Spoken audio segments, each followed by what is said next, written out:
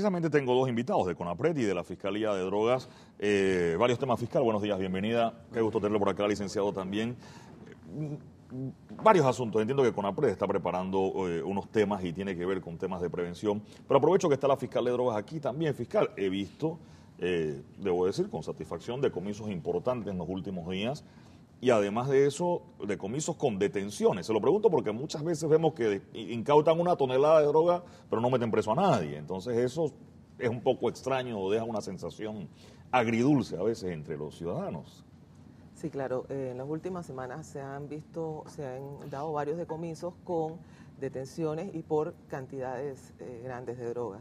Bueno, eso demuestra el trabajo duro que está haciendo la Fiscalía en conjunto con los estamentos de seguridad. Sí, comparación, por ejemplo, con otros años, ahora mismo que tiene el reporte, o todavía habrá que esperar la estadística final, pero entiendo que hay un incremento, ¿no? Sí, hay un, incremento.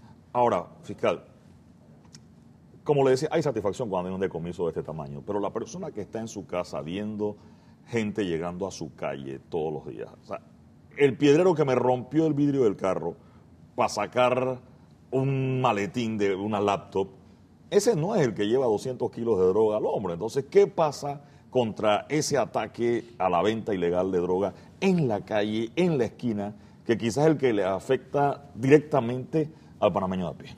Bueno, eh, en ese sentido también las fiscalías están trabajando en conjunto con los estamentos de seguridad a través pues, de las compras controladas de drogas para establecer quiénes son los vendedores en las diferentes áreas de la ciudad. Y ese es un trabajo pues también mancomunado que se está haciendo. ¿Hay detenciones? ¿Se están dando en estos casos? Sí, se están dando detenciones también. Ahora, y eso es a diario que se hace. ¿Qué pasa en estos casos? Es decir, creo que y por eso está con APRED con nosotros esta mañana, este tema del piedrero de, la esquina, o sea, e, ese que es el que genera el problema, o cómo resocializamos, por ejemplo, o cómo curamos o salvamos o rescatamos a una persona que ha caído en eso? Bueno, eh, el Ministerio Público, en conjunto con eh, los entes de salud y otras instituciones del Estado, hemos estado desarrollando un plan piloto eh, denominado Programa Judicial de Tratamientos de Drogas, que va destinado precisamente a estas personas que delinquen producto de su adicción al consumo de sustancias ilícitas. este programa inició en Estados Unidos en la década de los 80 y se ha replicado en diferentes países con muy buenos resultados.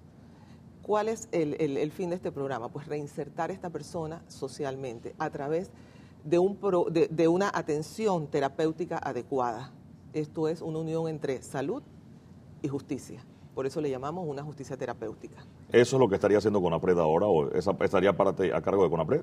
Eh, bueno, aquí participamos los... Eh, administradores de justicia, tanto Ministerio Público como órgano judicial, en conjunto con las, eh, los entes de salud, que son eh, los que van, y, también los centros de tratamiento, que son los que van a dar los tratamientos. ¿En qué consiste este programa? Eh, consiste pues en la suspensión condicional del proceso, valga la redundancia, sujeto a condiciones. ¿Cuáles son esas condiciones? Someterse a un tratamiento preestablecido, individualizado para cada individuo, para cada persona hay que cumplir, pues la persona interesada en someterse a este tratamiento debe cumplir con ciertos requisitos sanitarios y legales.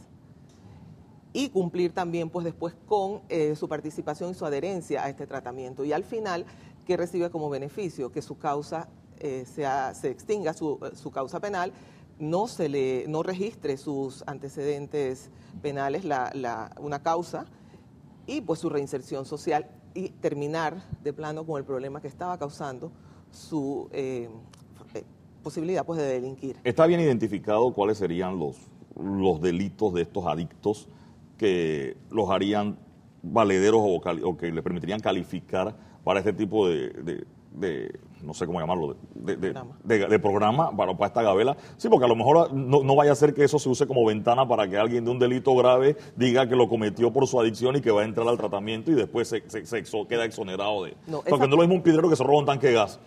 ¿Qué, es lo que pasa? O sea, el piedrero se robó un tanque de gas para comprar su piedra.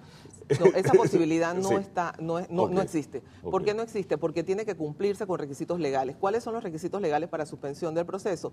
Que eh, la pena por el tipo imputado no supere los tres años de prisión o 36 meses. Entonces ya hay una restricción que no permite el ingreso de personas por delitos graves.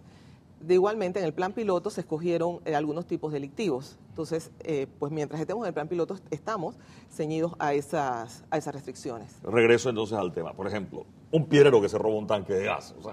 Estamos hablando de que entendemos que, que no se lo robó por el beneficio económico del tanque de gas, sino para comprar la piedra. Y esa es la persona que entiendo es la que se quiere rescatar. ¿no? Exacto. Este programa va orientado hacia aquellas personas que padecen de la enfermedad, porque nosotros como país tenemos que ver este, este, esta enfermedad como un tema de salud pública, el tema de las adicciones a las drogas.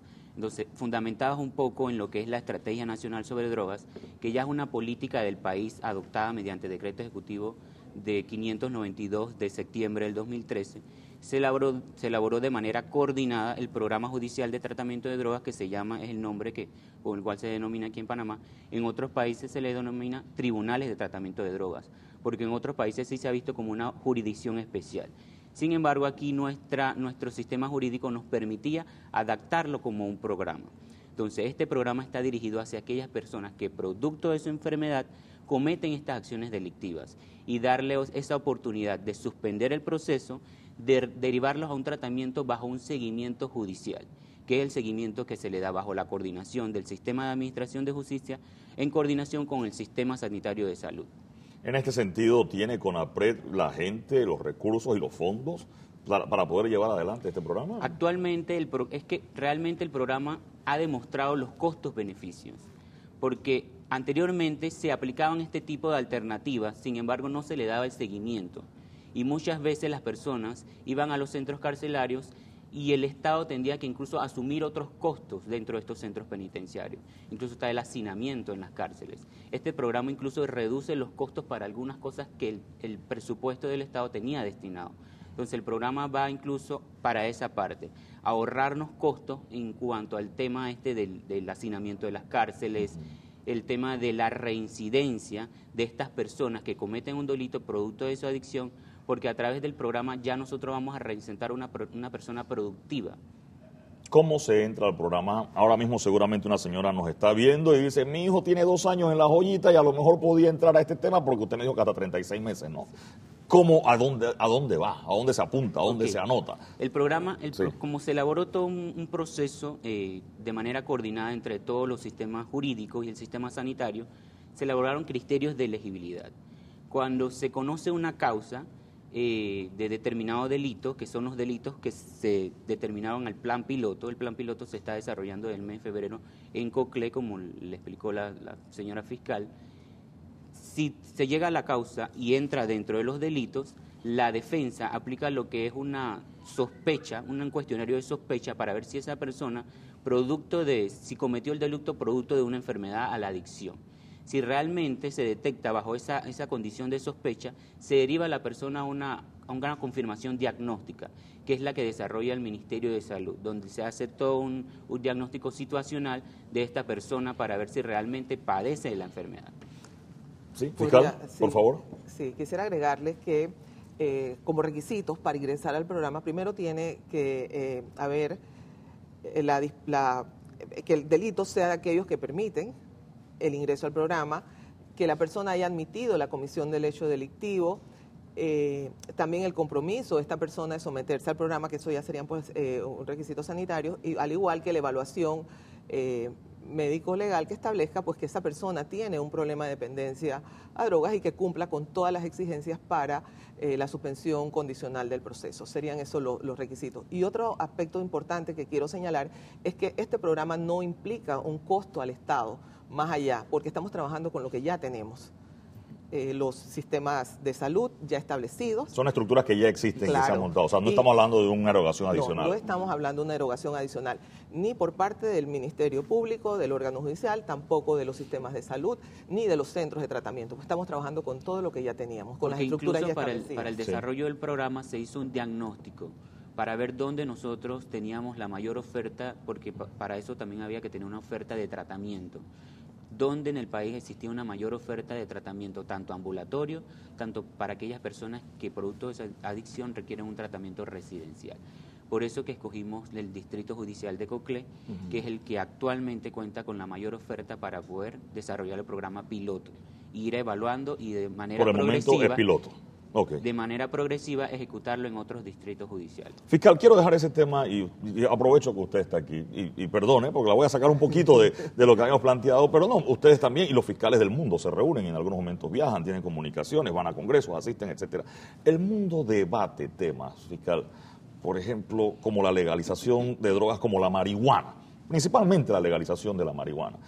Hay detractores, por ejemplo, del tabaco y del alcohol que los consideran drogas, pero legales, pero que son drogas de todas maneras, pero están legales. Y, hay una lucha entre, entre este grupo.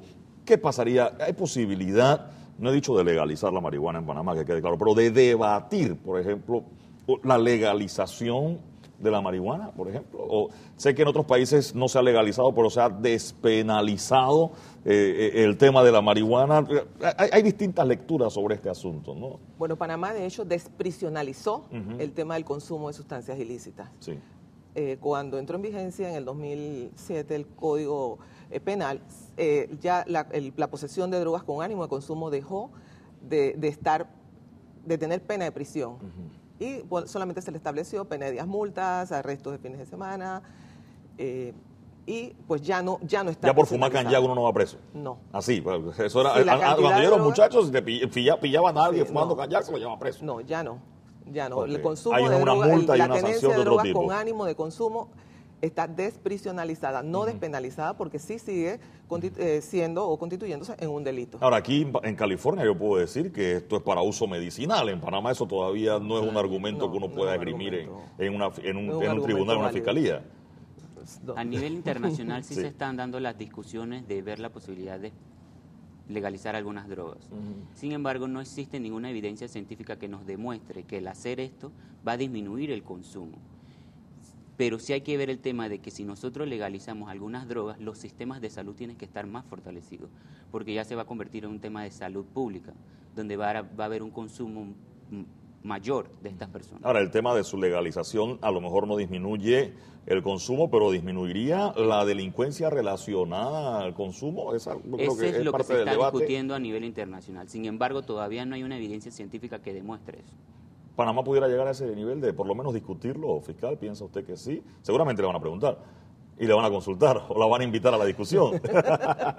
De repente sí habría que ver cuál es la posición nuestra como país. Tendríamos nosotros primero que sentarnos a ver este punto. Me quedo con eso, gracias, fiscal. por- ¿Podríamos sí. agregarle algo Por más? favor, claro. Sí, queríamos eh, comunicar pues que a partir de hoy inicia un seminario de capacitación para todos aquellos eh, que estamos involucrados en este programa judicial de tratamiento de drogas y contamos con la participación de expositores internacionales. Tenemos eh, chilenos, mexicanos, eh, estadounidenses también. Van a estar en que- ese seminario En este de- seminario que va a ser a partir de hoy en el Hotel Panamá. ¿Quiénes están yendo al seminario, por ejemplo? Gente de fiscalías de drogas. Fiscalías de drogas, eh, de Ministerio Público, pues fiscalías de drogas, eh, jueces, eh, defensores de oficio, eh, opera- los eh, sistemas los de sistemas de salud, eh, los centros de tratamiento. Estarían yendo a este Estarían seminario para ver este Se lo está tema. capacitando en cuanto al tema del programa. Bueno, vamos a esperar que comience el programa y allí entonces conoceremos los primeros resultados. Por favor, los comparte con nosotros. Bueno, ya de hecho ya hay resultados, porque Sí. este plan piloto inició Desde febrero, desde de, febrero este año. de este año. Y, Ya hay alrededor de 10 personas derivadas y ya se están viendo los resultados. Incluso las personas eh, ya están considerando o agradeciendo por la oportunidad que se les ha dado. ¿Es suficiente tiempo? Si usted me dice febrero a noviembre, estamos hablando de ocho meses. No, todavía no es Todavía suficiente tiempo para Sí. evaluar el programa. Sin embargo, se están estableciendo los mecanismos para hacer ese monitoreo de evaluación. Me quedo con eso. Gracias por estar con nosotros esta mañana.